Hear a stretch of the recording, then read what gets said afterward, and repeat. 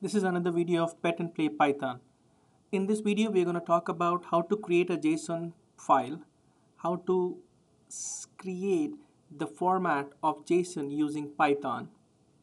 And uh, the JSON file or JSON message looks like this. You have the column name, for example, surrogate ID 1, speed, which is another column 190, date time. So the column name colon value comma column name colon value comma and you can just use this JSON file format and then JSON uh, file format or JSON format itself has been used uh, on multiple uh, places, multiple applications. Uh, another application for JSON is uh, to create an API for real-time dataset and this is what our final objective would be. So we are going to create JSON and then we are going to publish this JSON message or JSON file or JSON uh, uh, object into an API and then this API would be consumed by uh, another application using Python. So in Python we are going to create that JSON and push the data into the API file format.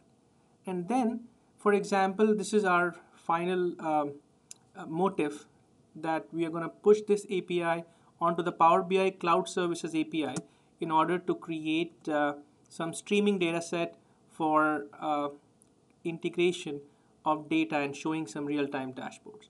So that would be our final output, but from a Python perspective, let's understand how to create a JSON file. In order to do that, I have imported few libraries, pandas, datetime, and random. Now, I have created a function here, definition data generation. So name of the function is data generation, and I'm going to set surrogate ID as random integer. Speed random integer ranging from 200 to 20 to 200. Here random integer 1 and 3. Between 1 and 3, 1, 2 or 3. Date which is going to be current date and time. And then this function is going to return the values in the order surrogate id speed date and time. Now let's write down the main function. The main function is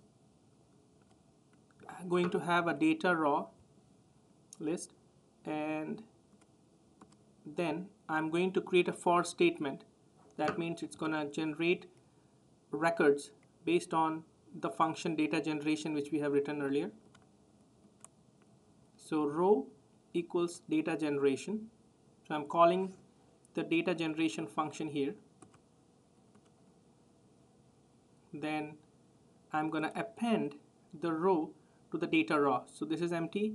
I appended a row which is generated by the data generation and the row will have these four columns with their random values.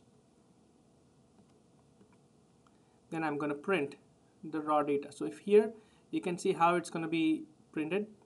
This is the format print. This is surrogate ID, speed, date and date time.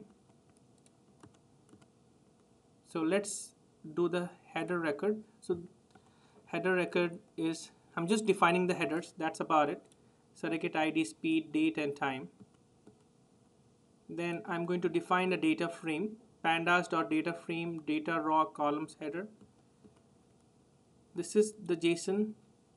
I'm going to create a JSON out of this data frame bytes data data frame dot to JSON orient records encoding UTF-8 I'm going to print. So once you print this is how it's going to look like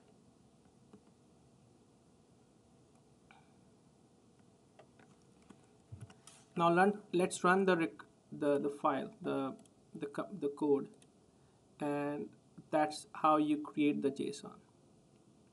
So now the JSON is created. In the next video, I'm going to show you how to publish it onto the API.